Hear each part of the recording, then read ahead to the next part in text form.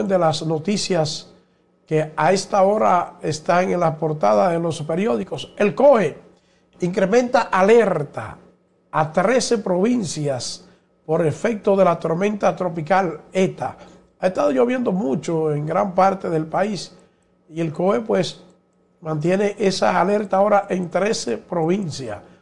El presidente Abinader anuncia entrega de 92 millones para concluir la UAS de La Vega y edificaciones de Ucatesi.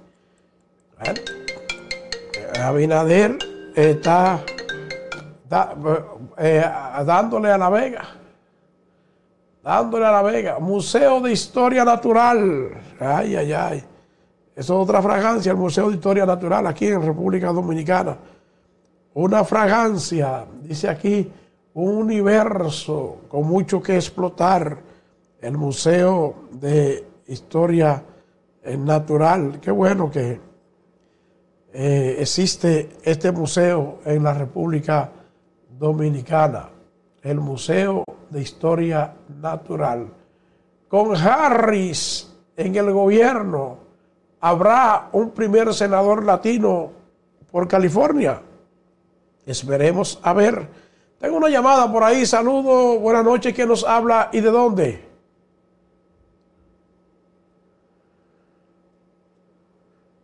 Bueno, parece que se cayó. Entonces, Harris es la vicepresidenta de. Bueno, y ahora, ahora ya, ya esta llamada vamos a descartarla. Vámonos a seguir con la noticia presidente ordena reconstrucción del mercado de La Vega. Donald Trump atrincherado, atrincherado en su campo de golf, sigue sin conocer la derrota. Hombre mata a su expareja, hiere a tres familiares de esta y luego se suicida. No sé por qué hacen la cosa al revés. Él tenía que suicidarse primero. Así no, no, cometía esos crímenes que cometió si se hubiese suicidado primero, ¿verdad?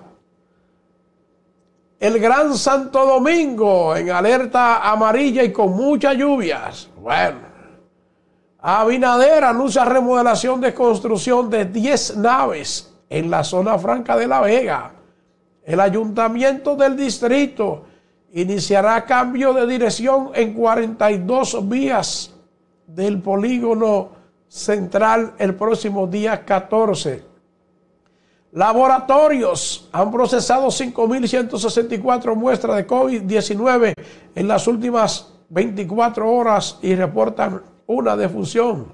Funcionarios con más de un 10% de acciones en una empresa mm, mm, no pueden ser proveedores del Estado.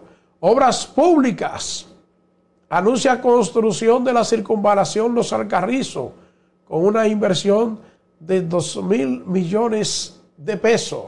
Estas son las noticias más importantes a esta hora en República Dominicana. Seguimos con más del contenido de este espacio en política.